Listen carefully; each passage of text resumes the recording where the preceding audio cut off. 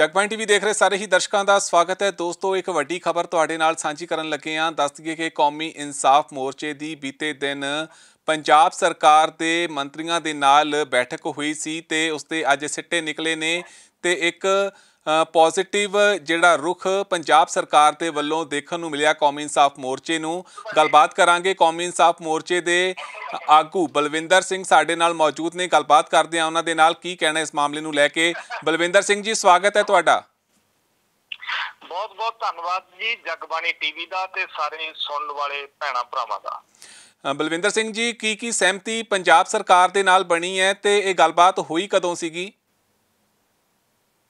ਇਹ ਗੱਲਬਾਤ 26 ਤਰੀਕ ਨੂੰ ਹੋਈ ਹੈ ਜੀ। ਸਾਡੀ ਤਾਲਮੇਲ ਕਮੇਟੀ ਦੀ ਉਸ ਦਿਨ ਮੀਟਿੰਗ ਸੀਗੀ ਔਰ ਉਸ ਮੀਟਿੰਗ ਦੇ ਦੌਰਾਨ ਹੀ ਚਲਦੀ ਮੀਟਿੰਗ ਚੋਂ ਸਾਰੇ ਜਿਹੜੇ ਤਾਲਮੇਲ ਕਮੇਟੀ ਦੇ ਮੈਂਬਰ ਨੇ ਉਹਨਾਂ ਤੋਂ ਆਗਿਆ ਲੈ ਕੇ ਤੇ ਚਾਰ ਜਾਣੇ ਇਸ ਮੀਟਿੰਗ ਦੇ ਵਿੱਚ ਗਏ ਸੀਗੇ। 26 ਫਰਵਰੀ ਨੂੰ? ਅੱਜ 26 ਫਰਵਰੀ ਨੂੰ ਜਿਹੜੇ ਜਗਤਾਰ ਸਿੰਘ ਹਵਾਰਾ ਹੋਰਾਂ ਦੇ ਵਕੀਲ ਨੇ ਐਡਵੋਕੇਟ ਅਮਰ ਸਿੰਘ ਚਾਹਲ ਦਲਸ਼ੇਰ ਸਿੰਘ ਪਾਲ ਸਿੰਘ ਫਰਾਂਸ ਤੇ ਜਾਣੀ ਮੈਂ ਨਾਲ ਗਿਆ ਸੀ। ਜੀ। ਬਲਵਿੰਦਰ ਸਿੰਘ ਜੀ ਸਹਿਮਤੀ ਕਿਹੜੀਆਂ ਕਿਹੜੀਆਂ ਚੀਜ਼ਾਂ ਨੂੰ ਲੱਗੀ ਮਿਲੀ ਹੈ? ਕਿ ਕਿਸ ਤਰ੍ਹਾਂ ਦਾ ਰੁਖ ਲੱਗਦਾ ਹੈ ਸਰਕਾਰ ਦਾ ਕੌਮੀ ਇਨਸਾਫ ਮੋਰਚੇ ਨੂੰ ਲੈ ਕੇ ਜੋ ਮੰਗਾਂ ਲੈ ਕੇ ਬੈਠੇ ਨੇ? ਦੇਖੋ ਕੌਮੀ ਇਨਸਾਫ ਮੋਰਚੇ ਦੇ ਵਿੱਚ ਜਿਹੜਾ ਹੰਗਾਰਾ ਪੰਜਾਬੀਆਂ ਨੇ ਤੇ ਖਾਸ ਕਰ ਮਤਲਬ ਬਾਕੀ ਸੂਬਿਆਂ ਤੋਂ ਆਏ ਲੋਕਾਂ ਨੇ ਤੇ ਬਾਕੀ ਇਨਸਾਫ ਪਸੰਦ ਲੋਕਾਂ ਨੇ ਦਿੱਤਾ ਹੈ ਉਸ ਲੋਕ ਭਾਵਨਾ ਨੂੰ ਮੱਦੇਨਜ਼ਰ ਰੱਖਦਿਆਂ ਹੋਇਆਂ ਜਿਹੜੀ ਸਰਕਾਰ ਨੇ ਪਹਿਲ ਕਦਮੀ ਕੀਤੀ ਸਾਨੂੰ ਬੁਲਾਇਆ ਔਰ ਸਾਰੇ ਮੁੱਦਿਆਂ ਨੂੰ ਸੁਣਿਆ ਸਮਝਿਆ ਤੇ ਇੱਕ ਇੱਕ ਮੁੱਦੇ ਦੇ ਉੱਤੇ ਨਿੱਠ ਕੇ ਵਿਚਾਰ ਕੀਤੀ। ਲਗਭਗ 2 ਘੰਟੇ ਜਿਹੜੀ ਹੈਗੀ ਹੈ ਮੀਟਿੰਗ ਚੱਲਦੀ ਰਹੀ। ਔਰ ਉਹਦੇ ਵਿੱਚ ਪਹਿਲਾ ਮਸਲਾ ਜਿਹੜਾ ਹੈਗਾ ਉਹ ਇਹ ਹੈ ਕਿ ਸ੍ਰੀ ਗੁਰੂ ਗ੍ਰੰਥ ਸਾਹਿਬ ਜੀ ਦੀਆਂ ਬੇਅਦਬੀਆਂ ਔਰ ਬਾਕੀ ਧਾਰਮਿਕ ਗ੍ਰੰਥਾਂ ਦੀਆਂ ਜਿਹੜੀਆਂ ਬੇਅਦਬੀਆਂ ਹੁੰਦੀਆਂ ਉਹਦੇ ਉੱਤੇ ਇੱਕ ਸਖਤ ਕਾਨੂੰਨ ਦੀ ਮੰਗ ਜਿਹੜੀ ਹੈਗੀ ਆ ਉਹ ਕੌਮੀ ਇਨਸਾਫ ਮੋਰਚੇ ਦੀ ਪਹਿਲੀ ਮੰਗ ਹੈ ਉਹਦੇ ਲਈ ਸਰਕਾਰ ਨੇ ਕਿਹਾ ਕਿ ਪੰਜਾਬ ਸਰਕਾਰ ਇਹ ਕਾਨੂੰਨ ਇਹ ਮਤਾ ਪਾਸ ਕਰ ਚੁੱਕੀ ਹੈ ਤੇ ਜਿਹੜਾ ਰਾਸ਼ਟਰਪਤੀ ਦੇ ਕੋਲੇ ਅੱਗੇ ਇਹ ਪੈਂਡਿੰਗ ਹੈਗਾ ਉਹਦੇ ਲਈ ਅਸੀਂ ਬਕਾਇਦਾ ਇਹਨੂੰ ਪਰਸਿਊ ਕਰਾਂਗੇ ਸਾਡੀ ਮੰਗ ਸੀ ਕਿ ਉਹਦੇ ਲਈ ਇੱਕ ਮਿਨਿਸਟਰ ਦੀ ਜਿਹੜੀ ਡਿਊਟੀ ਹੈ ਉਹ ਲਾਈ ਜਾਵੇ। ਔਰ ਮਿਨਿਸਟਰ ਔਰ ਅਧਿਕਾਰੀ। ਇਹਨੂੰ ਲਗਾਤਾਰ ਪਰਸਿਊ ਕਰਕੇ ਕਿਉਂਕਿ 2016 ਤੋਂ ਲਟਕਦਾ ਆ ਰਿਹਾ ਹੈ ਜੀ ਤੇ ਇਹਦੇ ਲਈ ਉਹਨਾਂ ਨੇ ਹਾਮੀ ਭਰੀ ਹੈ। ਦੂਸਰਾ ਜਿਹੜਾ ਸੀਗਾ ਸਾਡੀ ਮੰਗ ਸੀ ਕਿ ਕੋਟਕਪੂਰਾ ਬਾਈਬਲ ਗੋਲੀकांड ਦਾ ਜਿਹੜਾ ਮਸਲਾ ਹੈਗਾ ਉਹਦੇ ਚ 307 ਦਾ ਜਿਹੜਾ ਕੇਸ ਹੈ ਕੋਟਕਪੂਰੇ ਕਾਂਡ ਵਾਲਾ ਜਿਹੜਾ ਚੌਂਕ 'ਚ ਹੋਇਆ ਸੀ। ਔਰ ਉਸ ਤੋਂ ਲਗਭਗ 4 ਘੰਟੇ ਬਾਅਦ ਬਾਈਬਲ ਕਲਾਂ ਦੇ ਵਿੱਚ ਜਿਹੜੇ ਦੋ ਸਿੰਘ ਗੋਲੀਆਂ ਦੇ ਨਾਲ ਸ਼ਹੀਦ ਕੀਤੇ ਗਏ। ਉਹ 302 ਦਾ ਮਾਮਲਾ ਜਿਹੜਾ ਹੈਗਾ ਉਹਦੇ ਵਿੱਚ ਚਲਾਨ ਪੇਸ਼ ਕੀਤਾ ਜਾਵੇ ਹੂੰ। ਤਾਂ ਉਹਦੇ ਤੇ ਸਰਕਾਰ ਨੇ ਕਿਹਾ ਕਿ ਅਸੀਂ ਕੇਸ ਨੂੰ ਪੂਰਾ ਸਪੀਡ ਅਪ ਰੱਖਦੇ ਹਾਂ ਔਰ ਬਹੁਤ ਜਲਦੀ ਇਹਦੇ ਤੇ ਚਲਾਨ ਪੇਸ਼ ਕਰਾਂਗੇ। ਠੀਕ। ਉਸ ਤੋਂ ਬਾਅਦ ਜਿਹੜਾ ਮਸਲਾ ਸੀ ਉਹ ਬੰਦੀ ਸਿੰਘਾਂ ਦੀ ਰਿਹਾਈ ਦਾ ਸੀ। ਜੀ। ਬੰਦੀ ਸਿੰਘਾਂ ਦੀ ਰਿਹਾਈ ਦੇ ਮਾਮਲੇ ਦੇ ਵਿੱਚ ਉਹਨਾਂ ਨੂੰ ਅਸੀਂ ਬੇਨਤੀ ਕੀਤੀ ਸੀ ਕਿ ਇਹ ਪੰਜਾਬ ਦੇ ਵਾਸੀ ਹੈ ਔਰ ਤੁਸੀਂ ਜਿਹੜਾ ਹੈਗਾ ਇਹਨਾਂ ਦੀ ਪੈਰਵਾਈ ਹੁਣ ਤੁਸੀਂ ਕਰਨੀ ਹੈ ਕਿਉਂਕਿ ਜਿਹੜਾ ਗਲਤੀ ਉਹਨਾਂ ਨੇ ਕੀਤੀ ਕਹਿ ਲਓ ਜਾਂ ਕਾਨੂੰਨ ਦੀ ਨਜ਼ਰ ਦੇ ਵਿੱਚ ਜੋ ਉਹਨਾਂ ਨੇ ਗਲਤ ਕੀਤਾ ਉਹਦੀ ਉਹ ਸਜ਼ਾ ਪਾ ਚੁੱਕੇ ਆ। ਜੀ। ਉਮਰ ਕੈਦ ਤੋਂ ਦੁੱਗਣੀਆਂ ਸਜ਼ਾਵਾਂ ਕੱਟ ਚੁੱਕੇ ਆ ਇਸ ਕਰਕੇ ਉਹਨਾਂ ਨੂੰ ਹੁਣ ਰਿਹਾ ਕਰਾਉਣਾ ਉਹਨਾਂ ਨੂੰ ਨਿਆਂ ਦਿਵਾਉਣਾ ਤੁਹਾਡੀ ਜ਼ਿੰਮੇਵਾਰੀ ਬਣਦੀ ਹੈ ਜੀ। ਤਾਂ ਉਹਦੇ ਵਿੱਚ ਕਿਉਂਕਿ ਅਲੱਗ-ਅਲੱਗ ਕੈਟਾਗਰੀ ਦੇ ਵਿੱਚ ਕੈਦੀ ਆਉਂਦੇ ਆ ਔਰ ਬਾਕੀ ਸੂਬਿਆਂ ਦੇ ਨਾਲ ਜਿਹੜਾ ਹੈਗਾ ਉਹ ਸੰਬੰਧਿਤ ਹੈ ਇਹ ਗੱਲਬਾਤ। ਬਿਲਕੁਲ। ਉਹਦੇ ਵਿੱਚ ਗੁਰਦੀਪ ਸਿੰਘ ਖੈੜਾ ਹੋਰਾਂ ਦੇ ਮਾਮਲੇ 'ਚ ਉਹਨਾਂ ਨੇ ਕਿਹਾ ਕਿ ਅਸੀਂ ਕਰਨਾਟਕ ਸਰਕਾਰ ਦੇ ਨਾਲ ਜਾ ਕੇ ਗੱਲ ਕਰਾਂਗੇ। ਜੀ। ਇਸੇ ਤਰ੍ਹਾਂ ਪ੍ਰੋਫੈਸਰ ਦਵਿੰਦਰਪਾਲ ਸਿੰਘ ਭੁੱਲਰ ਹੋਰਾਂ ਦੇ ਮਾਮਲੇ ਦੇ ਵਿੱਚ ਦੁਬਾਰਾ ਉਸ ਕਮੇਟੀ ਜਿਹੜੀ ਹੈਗੀ ਆ ਉਹ ਬੈਠੇਗੀ। ਹੂੰ। ਉਹਨੂੰ ਪਰਸਿਊ ਕੀਤਾ ਜਾਏਗਾ ਕਿਉਂਕਿ ਉਹ ਫੈਸਲਾ ਦਿੱਲੀ ਨੇ ਕਰਨਾ ਹੈ। ਜੀ। ਤੀਸਰਾ ਜਿਹੜਾ ਹੈਗਾ ਭਾਈ ਗੁਰਮੀਤ ਸਿੰਘ ਭਾਈ ਸ਼ਮਸ਼ੇਰ ਸਿੰਘ ਤੇ ਭਾਈ ਲਖਵਿੰਦਰ ਸਿੰਘ ਉਹਨਾਂ ਦੇ ਪਰਿਵਾਰਾਂ ਤੋਂ ਜਾਂ ਉਹਨਾਂ ਤੋਂ ਅਰਜ਼ੀਆਂ ਲੈ ਕੇ ਉਹਨਾਂ ਦੀ ਰਿਹਾਈ ਦਾ ਪ੍ਰੋਸੈਸ ਸ਼ੁਰੂ ਕੀਤਾ ਜਾਏਗਾ। ਜੀ। ਤੇ ਬਾਕੀ ਦੇ ਜਿਹੜੇ ਬੰਦੀ ਸਿੰਘ ਹੈਗੇ ਆ ਉਹ ਉਹਨਾਂ ਬਾਰੇ ਵੀ ਗੱਲਬਾਤ ਜਿਹੜੀ ਹੈਗੀ ਆ ਉਹ ਚਲਾਈ ਜਾਏਗੀ। ਕਿਉਂਕਿ ਅਲੱਗ-ਅਲੱਗ ਇਹਦੇ ਵਿੱਚ ਕੈਟਾਗਰੀਆਂ ਬਣੀਆਂ ਹੋਈਆਂ। ਠੀਕ। ਜਥੇਦਾਰ ਜਗਤਾਰ ਸਿੰਘ ਹਵਾਰਾ ਨੂੰ ਪੰਜਾਬ ਦੇ ਵਿੱਚ ਲਿਆਉਣ ਦੀ ਇੱਕ ਕੌਮੀ ਇਨਸਾਫ ਮੋਰਚੇ ਦੀ ਮੰਗ ਸੀ ਜਿਹਦੇ ਲਈ 31 ਮੈਂਬਰੀ ਜਥਾ ਜਿਹੜਾ ਹੈਗਾ ਉਹ ਹਰ ਰੋਜ਼ ਤੋਰਿਆ ਜਾਂਦਾ ਸੀ ਤੇ ਇੱਕ ਸੜਕ ਚੰਡੀਗੜ੍ਹ ਦੀ ਪੂਰੀ ਬਲੌਕ ਹੋਈ ਹੋਈ ਸੀ।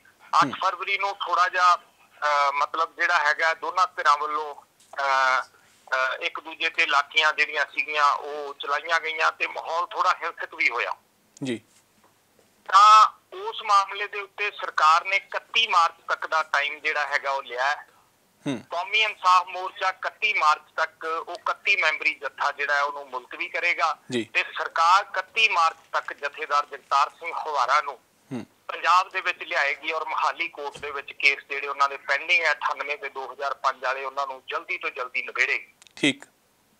ਤਾਂ ਇੱਥੇ ਮੈਂ ਬਿਲਕੁਲ ਸਪਸ਼ਟ ਕਰ ਦਿਆਂ ਔਰ ਸਾਫ਼ ਕਰ ਦਿਆਂ ਜੀ। ਕਿ ਮੋਰਚਾ ਚੱਲਦਾ ਰਹੇਗਾ। ਹੂੰ।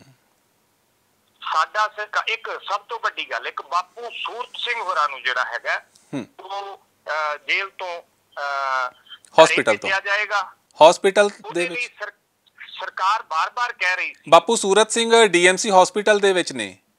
ਹਾਂਜੀ ਔਰ 8 ਸਾਲਾਂ ਤੋਂ ਡੀਐਸ ਡੀਐਮਸੀ ਹਸਪੀਟਲ 'ਚ ਨੇ। ਸਰਕਾਰ ਹੁਣ ਉਹਨਾਂ ਨੂੰ ਮਰਨ ਵਰਤ ਛੱਡਣ ਤੋਂ ਬਾਅਦ ਵੀ ਉੱਥੋਂ ਨਹੀਂ ਸੀ ਜਾਣ ਦੇ ਰਹੀ। ਜੀ। ਤਾਂ ਸਰਕਾਰ ਬਾਰ-ਬਾਰ ਇਹ ਹਵਾਲਾ ਦੇ ਰਹੀ ਸੀ ਕਿ ਉਹਨਾਂ ਤੋਂ ਉੱਠਿਆ ਨਹੀਂ ਜਾਂਦਾ। ਉਹਨਾਂ ਦੀ ਸਿਹਤ ਬਹੁਤ ਕਮਜ਼ੋਰ ਆ ਉਹ 90 ਸਾਲਾਂ ਦੇ ਆ। ਹੂੰ। ਤਾਂ ਅਸੀਂ ਕੌਮੀ ਇਨਸਾਫ ਮੋਰਚੇ ਵੱਲੋਂ ਬਾਪੂ ਜੀ ਤੋਂ ਮਤਲਬ ਪੁੱਛ ਕੇ ਔਰ ਬਕਾਇਦਾ ਉਹਨਾਂ ਦੀ ਰਿਕਾਰਡਿੰਗ ਵੀ ਮੈਂ ਕੀਤੀ ਹੈਗੀ ਆ ਕਿਉਂਕਿ ਬਾਅਦ ਚ ਬਹੁਤ ਗੱਲਾਂ ਹੋ ਜਾਂਦੀਆਂ। ਠੀਕ। ਤਾਂ 15 ਦਿਨਾਂ ਲਈ ਅਸੀਂ ਉਹਨਾਂ ਨੂੰ ਉਹਨਾਂ ਦੇ ਘਰ ਰੱਖਾਂਗੇ। ਹੂੰ। ਬਾਪੂ ਜੀ ਦੀ ਇੱਛਾ ਹੈਗੀ ਹੈ ਕਿ ਜਾਣੀ ਮੈਂ ਮਹੀਨਾ ਘਰ ਰਹਿਣਾ ਚਾਹੁੰਦਾ ਹਾਂ। ਜੀ। ਤਾਂ ਅਸੀਂ ਉਹਨਾਂ ਨੂੰ ਬੇਨਤੀ ਕੀਤੀ ਹੈ ਕਿ ਤੁਸੀਂ 15 ਦਿਨ ਘਰ ਰਹਿਣਾ ਹੈ ਔਰ ਆਪਣੀ ਸਿਹਤ ਜਿਹੜੀ ਹੈ ਕਿਉਂਕਿ 8 ਸਾਲ ਤੋਂ ਉਹਨਾਂ ਨੇ ਸੂਰਜ ਨਹੀਂ ਵੇਖਿਆ। ਬਿਲਕੁਲ। ਉਸ ਕਮਰੇ ਦੇ ਵਿੱਚ ਨੇ ਜਿੱਥੇ ਸੂਰਜ ਦੀ ਰੋਸ਼ਨੀ ਵੀ ਨਹੀਂ ਆਉਂਦੀ। ਹੂੰ। ਤਾਂ ਉਹ 15 ਦਿਨ ਆਪਣੇ ਘਰ ਰਹਿਣਗੇ। ਜੀ। ਅਸੀਂ ਔਰ ਸਰਕਾਰ ਉਹਨਾਂ ਦੀ ਦੇਖਭਾਲ ਕਰੇਗੀ ਉਹਨਾਂ ਨੂੰ ਥੋੜਾ ਜਿਹਾ ਕਾਇਮ ਕਰਕੇ ਜਿਹੜਾ ਹੈਗਾ ਮੋਰਚੇ ਦੇ ਵਿੱਚ ਲਿਜਾਇਆ ਜਾਏਗਾ ਇਹ ਸਾਰਾ ਜਿਹੜਾ ਹੈਗਾ ਗੱਲ ਉਹ ਸਰਕਾਰ ਦੇ ਨਾਲ ਕੀਤੀ ਹੈ ਅਸੀਂ ਸਰਕਾਰ ਦੇ ਧੰਨਵਾਦੀ ਹਾਂ ਕਿ ਉਹਨਾਂ ਨੇ ਕੰਮ ਨੂੰ ਸ਼ੁਰੂ ਕੀਤਾ ਹੈ ਔਰ ਹੁਣ ਸੰਗਤਾਂ ਨੂੰ ਬੇਨਤੀ ਕਰਦੇ ਹਾਂ ਕਿ ਅਸੀਂ ਪੂਰੇ ਸਿਰੜ ਨਾਲ ਪੂਰੇ ਸਿਦਕ ਨਾਲ ਜੀ ਔਰ ਸ਼ਾਂਤਮਈ ਤਰੀਕੇ ਦੇ ਨਾਲ। ਇਸੇ ਤਰ੍ਹਾਂ ਸੰਘਰਸ਼ ਨੂੰ ਅੱਗੇ ਲੈ ਕੇ ਜਾਣਾ ਹੈ। ਤਾਂ ਕਿ ਜਿੰਨੀਆਂ ਗੱਲਾਂ ਸਰਕਾਰ ਨੇ ਕਹੀਆਂ ਹੈਗੀਆਂ ਉਹਨਾਂ ਤੇ ਸਰਕਾਰ ਪੂਰੀ ਤਰ੍ਹਾਂ ਅਮਲ ਕਰੇ। ਇਹਦੇ ਲਈ ਅਸੀਂ ਕੌਮੀ ਇਨਸਾਫ ਮੋਰਚੇ ਦੇ ਨਾਲ ਲਗਾਤਾਰ ਜੁੜੇ ਰਹਿਣਾ ਹੈ। ਬਲਵਿੰਦਰ ਜੀ ਇਹ ਕੁਝ ਸਪਸ਼ਟ ਕੀਤਾ ਜੋ ਤੁਸੀਂ ਕਿਹਾ ਸੀਗਾ ਕਿ ਵੀ ਕਿਸੇ ਮੰਤਰੀ ਸਾਹਿਬਾਨ ਦੀ ਡਿਊਟੀ ਲਗਾਈ ਜਾਵੇ ਕੁਝ ਸਪਸ਼ਟ ਕੀਤਾ ਵੀ ਕਿਹਨਾਂ ਦੀ ਡਿਊਟੀ ਲੱਗੇਗੀ? ਦੇਖੋ ਇਹ ਸਰਕਾਰ ਦੀ ਮਰਜ਼ੀ ਹੈ ਉਹ ਕਿਸੇ ਵੀ ਸੁਹਿਰਦ ਮਿਨਿਸਟਰ ਦੀ ਡਿਊਟੀ ਲਾਉਣ ਕਿਉਂਕਿ ਦੇਖੋ ਦੋ ਗੱਲਾਂ ਲਈ ਜਾਣਾ ਪਏਗਾ। ਇੱਕ ਤਾਂ ਜਿਹੜਾ ਹੈਗਾ ਕਾਨੂੰਨ ਸਖਤ ਬਣਾਉਣਾ ਹੈ ਰਾਸ਼ਟਰਪਤੀ ਕੋਲੇ ਜਾਣਾ ਪਵੇਗਾ ਹਨਾ? ਠੀਕ। ਐਮਐਚ ਦੇ ਨਾਲ ਮਾਮਲਾ ਵਿਚਾਰਨਾ ਪਏਗਾ ਹੋ ਸਕਦਾ ਗ੍ਰਹਿ ਮੰਤਰੀ ਕੋਲੇ ਵੀ ਜਾਣਾ ਪਵੇ। ਠੀਕ। ਦੂਸਰਾ ਜਿਹੜਾ ਹੈਗਾ ਕਰਨਾਟਕ ਸਰਕਾਰ ਦੇ ਨਾਲ ਇੱਕ ਡੈਲੀਗੇਸ਼ਨ ਲਿਜਾ ਕੇ ਗੱਲ ਕਰਨੀ ਪਵੇਗੀ ਹੂੰ। ਤਾਂ ਅਸੀਂ ਉਹਨਾਂ ਨੂੰ ਇਹ ਬੇਨਤੀ ਕੀਤੀ ਹੈ ਕਿ ਇਹਦੇ ਉੱਤੇ ਤੁਸੀਂ ਕੋਈ ਸੂਝਵਾਨ ਦਲੀਲ ਵਾਲਾ ਠਰਮੇ ਨਾਲ ਗੱਲ ਕਰਨ ਵਾਲਾ ਕਨਵਿੰਸ ਕਰ ਸਕਣ ਵਾਲਾ ਜਿਹੜਾ ਹੈਗਾ ਮੰਤਰੀ ਔਰ ਅਧਿਕਾਰੀ ਭੇਜੋ ਤਾਂ ਕਿ ਆਪਾਂ ਜਲਦੀ ਤੋਂ ਜਲਦੀ ਸਿੱਖਾਂ ਦੀਆਂ ਭਾਵਨਾਵਾਂ ਦੇ ਨਾਲ ਜੁੜੇ ਹੋਏ ਇਹਨਾਂ ਸਾਰੇ ਮਸਲਿਆਂ ਨੂੰ ਹੱਲ ਕਰਕੇ ਪੰਜਾਬ ਦੇ ਵਿੱਚ ਇੱਕ ਚੰਗਾ ਮਾਹੌਲ ਜਿਹੜਾ ਹੈਗਾ ਉਹ ਸਿਰਜ ਸਕੀਏ। ਠੀਕ। ਤੇ ਬਲਵਿੰਦਰ ਜੀ ਤੁਹਾਨੂੰ ਕੀ ਲੱਗਦਾ ਜੋ ਹੁਣ ਤੱਕ ਸਰਕਾਰ ਦਾ ਜੋ ਰਿਸਪੌਂਸ ਮਿਲਿਆ ਇਹ ਜਿੱਤ ਸਮਝਦੇ ਹੋ ਕੌਮੀ ਇਨਸਾਫ ਮੋਰਚੇ ਦੀ? ਜਾਂ ਅੱਗੇ ਵਧੇ ਹੋ? ਲੋਕਾਂ ਦੀਆਂ ਲੋਕਾਂ ਦੀਆਂ ਭਾਵਨਾਵਾਂ ਦੀ ਜਿੱਤ ਹੈ ਸ੍ਰੀ ਗੁਰੂ ਗ੍ਰੰਥ ਸਾਹਿਬ ਜੀ ਦੀ ਅਗਵਾਈ ਦੀ ਜਿੱਤ ਹੈ ਔਰ ਸਰਕਾਰ ਨੇ ਇਹ ਸੁਹਿਰਦਤਾ ਨਾਲ ਕੰਮ ਕੀਤਾ ਹੈ ਉਹਦੇ ਲਈ ਸਰਕਾਰ ਦੇ ਧੰਨਵਾਦੀ ਹੈ। ਔਰ ਮੈਂ ਇਹਨੂੰ ਸਰਕਾਰ ਦੀ ਵੀ ਜਿੱਤ ਮੰਨਦਾ ਕਿ ਉਹਨਾਂ ਨੇ ਮਤਲਬ ਇਹਨੂੰ ਬਹੁਤ ਸੰਜੀਦਗੀ ਨਾਲ ਲਿਆ ਭਾਵੇਂ ਹਾਲਾਂਕਿ ਸਾਨੂੰ ਪੌਣੇ 2 ਮਹੀਨੇ ਹੋ ਗਏ ਆ ਸੰਗਤਾਂ ਲਗਾਤਾਰ ਪੁੰਜੇ ਪੈ ਰਹੀਆਂ ਔਰ 2-200 3-300 ਕਿਲੋਮੀਟਰ ਤੋਂ ਚੱਲ ਕੇ ਸੰਗਤਾਂ ਆ ਰਹੀਆਂ ਪਰ ਸੰਗਤਾਂ ਦੇ ਚੰਡੀਗੜ੍ਹ ਦੀ ਧਰਤੀ ਦੇ ਉੱਤੇ ਚੱਲੇ ਹੋਏ ਕਦਮਾਂ ਨੂੰ ਬੂਰ ਪੈਣਾ ਸ਼ੁਰੂ ਹੋਇਆ ਹੈ ਇਹਦੇ ਲਈ ਆਪਾਂ ਸਾਰੇ ਹੀ ਸਮੇਤ ਪੱਤਰਕਾਰਾਂ ਦੇ ਵਧਾਈ ਦੇ ਪਾਤਰ ਹਾਂ ਜੀ। ਬਲਵਿੰਦਰ ਜੀ ਮੇਰਾ ਲਾਸਟ ਸਵਾਲ ਹੈ 31 ਮਾਰਚ ਦਾ ਜਿਹੜਾ ਤੁਸੀਂ ਸ਼ਡਿਊਲ ਕੀਤਾ ਸੀਗਾ ਮੋਰਚਾ ਜੋ ਪ੍ਰੋਟੈਸਟ ਮਾਰਚ ਜਿਹੜਾ ਪ੍ਰੋਟੈਸਟ ਕਰਨਾ ਸੀਗਾ ਉਸ ਚੀਜ਼ ਨੂੰ ਤੁਸੀਂ ਮੁਲਤਵੀ ਕਰ ਦਿੱਤਾ 31 ਮਾਰਚ ਨੂੰ ਜੋ ਤੁਸੀਂ ਪ੍ਰੋਟੈਸਟ ਕਰਨਾ ਉਹ 31 ਮਾਰਚ ਤੱਕ ਨਹੀਂ ਸੀ। ਅਣਮਿੱਥੇ ਸਮੇਂ ਲਈ ਸੀ। ਹਾਂਜੀ ਅੱਛਾ। ਜਿੰਨਾ ਚਿਰ ਸਰਕਾਰ ਉਹਨਾਂ ਨੂੰ ਪੰਜਾਬ 'ਚ ਨਹੀਂ ਸੀ ਲੈ ਕੇ ਆਉਂਦੀ ਹੂੰ। ਇਹ ਕੇਵਲ ਸਰਕਾਰ ਨੇ 31 ਮਾਰਚ ਤੱਕ ਮੁਲਤਵੀ ਕਰਨ ਲਈ ਕਿਹਾ ਔਰ ਅਸੀਂ ਉਸ ਨੂੰ ਮੰਨਿਆ। ਕਿਉਂਕਿ ਇੱਕ ਸੜਕ ਚੰਡੀਗੜ੍ਹ ਨੂੰ ਜਾਂਦੀ ਹੋਰ ਬੰਦ ਹੋ ਗਈ ਸੀ। ਅਸੀਂ ਨਹੀਂ ਚਾਹੁੰਦੇ ਕਿ ਲੋਕਾਂ ਨੂੰ ਦਿੱਕਤਾਂ ਆਉਣ। ਜੇ ਸਰਕਾਰ ਵੀ ਸਾਡੇ ਵਾਂਗ ਸੋਚੇ ਤਾਂ ਸਾਰੇ ਮਸਲੇ ਜਿਹੜੇ ਹੈਗੇ ਆ ਬਹੁਤ ਜਲਦੀ ਸੁਲਝਾਏ ਜਾ ਸਕਦੇ ਆ ਬਾਕੀ ਅਸੀਂ ਸਰਕਾਰ ਨੂੰ ਇਹ ਬੇਨਤੀ ਕੀਤੀ ਹੈ ਕਿ ਜਿੰਨਾ ਕੰਮ ਤੁਹਾਡੇ ਪਾਸੇ ਵੱਲੋਂ ਕਰਨ ਦਾ ਹੂੰ। ਉਹ ਤੁਸੀਂ ਕਰੋ ਉਸ ਤੋਂ ਬਾਅਦ ਅਸੀਂ ਜਿਹੜਾ ਹੈਗਾ ਉਹ ਕੇਂਦਰ ਵੱਲ ਨੂੰ ਵਧਾਂਗੇ ਠੀਕ। ਜੇ ਕੇਂਦਰ ਸਰਕਾਰ ਸੁਹਿਰਦਤਾ ਨਹੀਂ ਦਿਖਾਉਂਦੀ ਹੂੰ। ਤਾਂ ਫਿਰ ਕੌਮੀ ਇਨਸਾਫ ਮੋਰਚੇ ਦੇ ਨਿਸ਼ਾਨੇ ਦੇ ਉੱਤੇ ਸਿੱਧੇ ਤੌਰ ਤੇ ਕੇਂਦਰ ਹੋਏਗਾ। ਠੀਕ ਹੈ। ਜੇਕਰ ਕੋਈ ਰਿਸਪੌਂਸ ਚੰਗਾ ਕੇਂਦਰ ਸਰਕਾਰ ਵੱਲੋਂ ਨਹੀਂ ਮਿਲਦਾ ਤਾਂ ਕੌਮੀ ਇਨਸਾਫ ਮੋਰਚਾ ਕੇਂਦਰ ਵੱਲ ਵਧੇਗਾ। ਬਿਲਕੁਲ ਕੁਦਰਤੀ ਗੱਲ ਹੈ ਜੀ। ਅਸੀਂ ਬੈਠੇ ਹੀ ਕੇਂਦਰ ਦੇ ਵਿੱਚ ਆ ਚੰਡੀਗੜ੍ਹ ਅਸੀਂ ਬੈਠੇ ਆ ਠੀਕ ਆ ਨਾ? ਫਿਰ ਰਾਜਪਾਲ ਜਿਹੜਾ ਹੈਗਾ ਉਹਨਾਂ ਨੂੰ ਸਿੱਧੇ ਹੋ ਕੇ ਟੱਕਰਾਂਗੇ। ਠੀਕ ਹੈ ਜੀ ਠੀਕ ਹੈ।